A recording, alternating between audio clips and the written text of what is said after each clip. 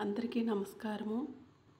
లవంగాలను జేబులో పెట్టుకుంటే ఏమవుతుందో తెలుసా?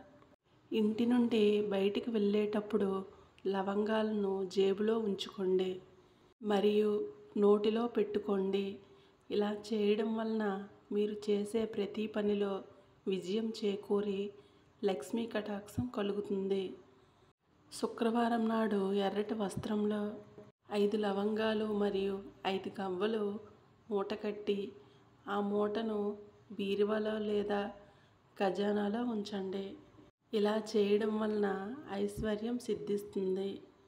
హనుమాన్ ముందు ఒక జత లవంగాలు ఉంచండి. మంగళవారం నాడు ఆవు నూనెతో దీపం వెలిగించి హనుమాన్ చాలీస్ను పఠించండి. ఇలా ఇరవై ఒక్క మంగళవారాలు చేయడం వలన త్వరలో మీ కష్టానికి తగిన ప్రతిఫలాన్ని పొందుతారు. శనివారం నాడు లవంగాలను దానం చేయడం చాలా మంచిది.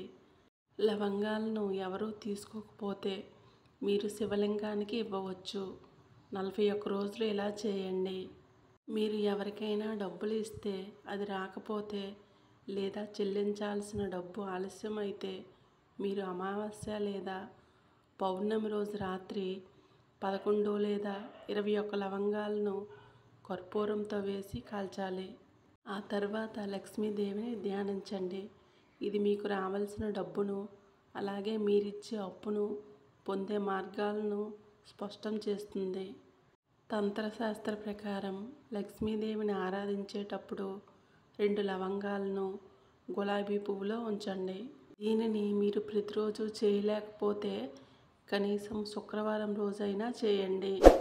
ఇలా చేయడం వల్ల మీ ఇంట్లో సంపదకు మార్గం తెరవబడుతుంది. ఈ వీడియో నచ్చితే తప్పకుండా ఒక లైక్ చేయండి.